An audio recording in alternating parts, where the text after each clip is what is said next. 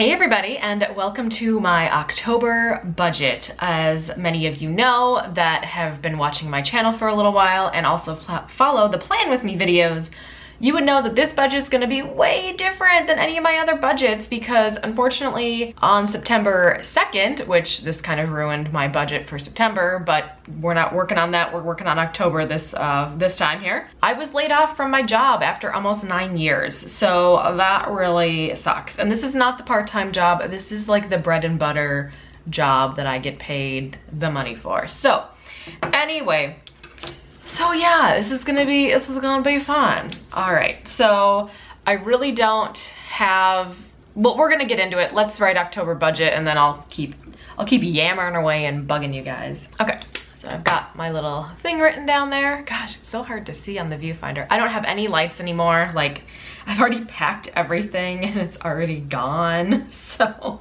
yeah.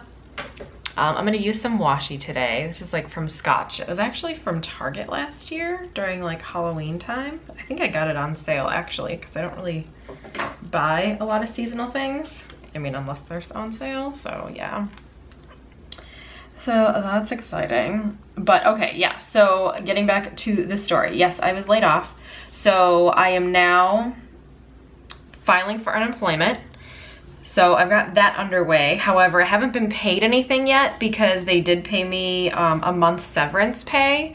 So I'm not sure how that fits into unemployment. However, I'm still, um, you know, like abiding by all the rules of unemployment, still looking, obviously I'm looking for employment, well duh.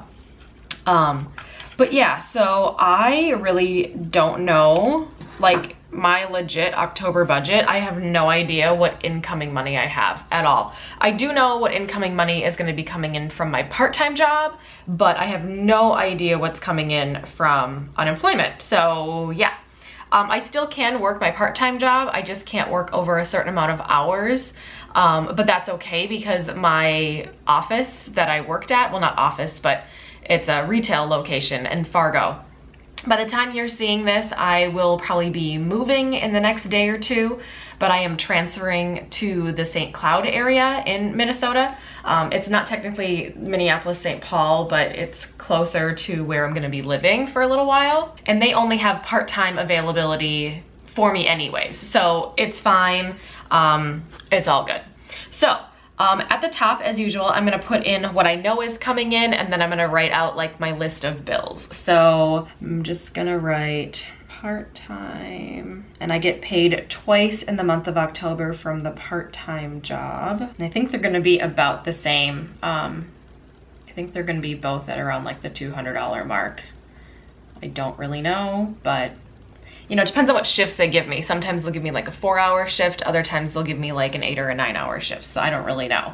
And that's all I know that's coming in for the month. However, things are taken care of, so that's good. Um, I have been following the Dave Ramsey plan for a while. I'll leave the link to his YouTube channel below if you guys wanna watch him. I have already completed baby step three, which baby step three is a fully funded three to six month emergency plan as well as I already started on baby step 3B, which is saving for a house. So I am not too incredibly worried about money. I mean, yes, it would be nice to have more come in. I totally get it.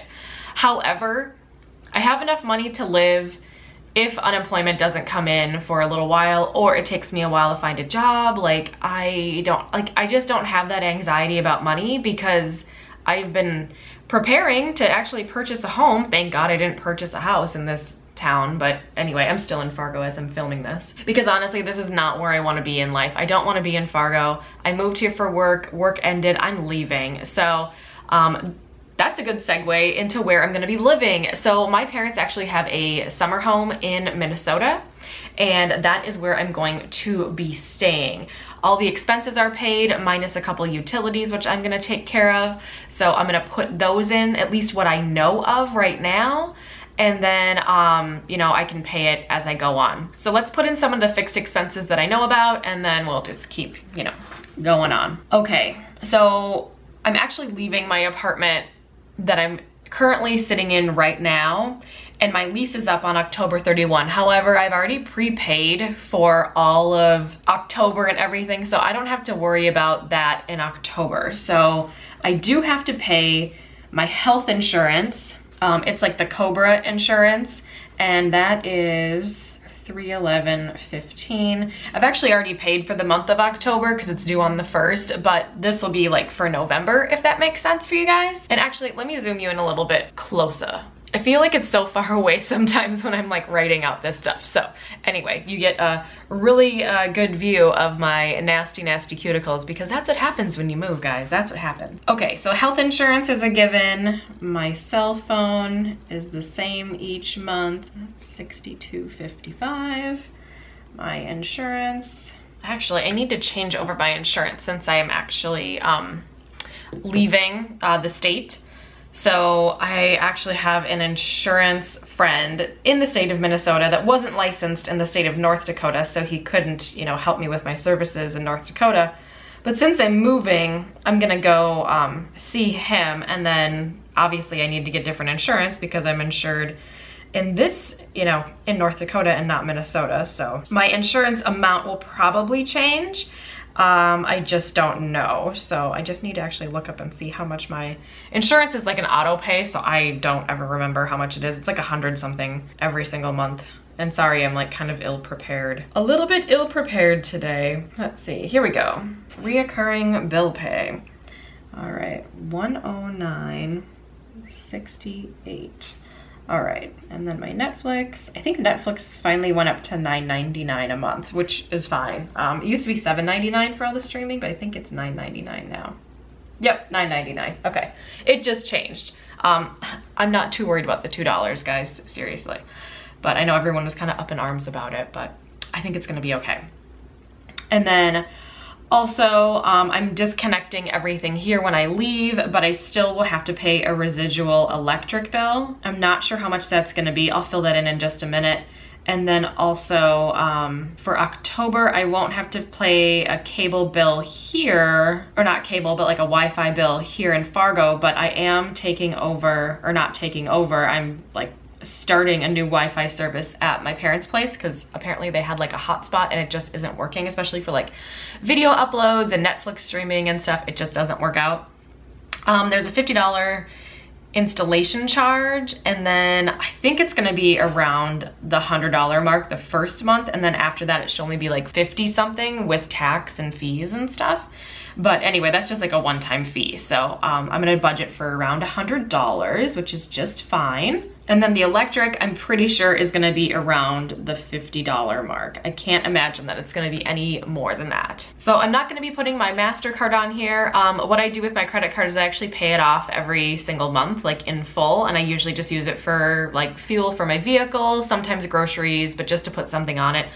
This month that we're currently in, I was really conscious not to put anything on the credit card at all because I knew that I had obviously been laid off from my job. So I just didn't want another bill coming in. So that is not gonna be on this budget because obviously then you pay for it in the next month. Other expenses I have coming up in October, I'm actually going on vacation oddly enough.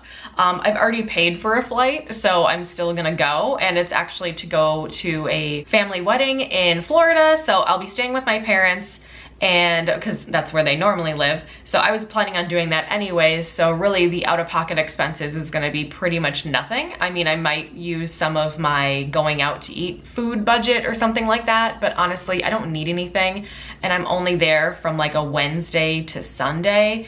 And really, I'm just gonna be hanging out with family and friends. So I'm not too incredibly worried about that. So under all of these fixed expense, not fixed expenses, but pretty fixed expenses, I'm gonna put like my cash for what I usually do. Um, I'm not gonna put anything in the clothing budget or anything like that. So this month we're just gonna do food. And then usually what I end up doing is groceries. So like grocery food and then like eat out food. And I'll actually probably use some eating out food budget because I have friends that live in the area that I'm gonna be at, so that's exciting.